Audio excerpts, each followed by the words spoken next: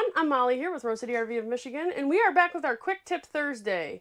So, as fall approaches and winterization becomes something that people are concerned about, we want to show you how to find your water pump, as that is the most common question we get when it comes to winterization. So, the way that we do it, because every RV or every motor coach or every fifth wheel is going to have different water pump locations and different water heater locations. So, First thing I do, come into the coach, I find that water pump switch. This one's on the monitor panel. I'm to hit that, and I'm to listen for the water pump. And you might not be able to hear it because it might be primed. So the way to find that is to turn this on, which we just winterized this, and listen for the water pump.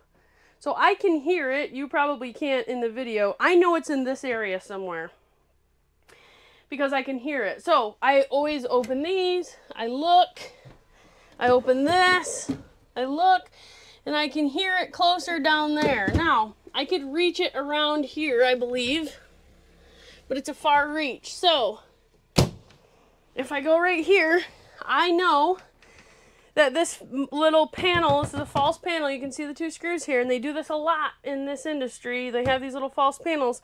I'm to take both of these screws out, and the water pump is probably going to be behind here.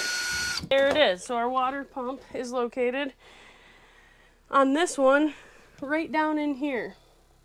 So that's how we find our water pump. It's nothing special. I can't tell you where yours is located on your RV unless I have seen it before. Um, you literally just have to turn it on and listen for it. And if it's not making noise, open up the faucet and it will start to make noise. If you like this video, please like and subscribe to see more like it.